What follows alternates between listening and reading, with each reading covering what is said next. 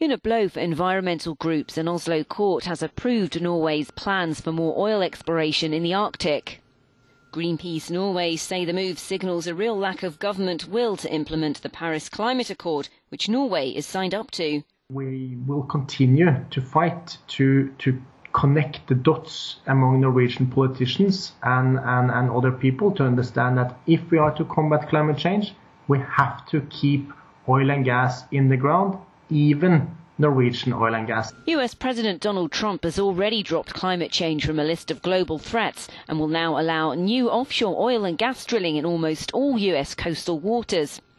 All this is happening against a backdrop of rising public opposition to oil drilling, but Greenpeace says it's not enough to reach the targets of the Paris Agreement. So it seems to be sort of the small cowboy companies that are still looking for profits in fossil fuels but most of the other businesses are now moving rapidly into renewable energy solutions.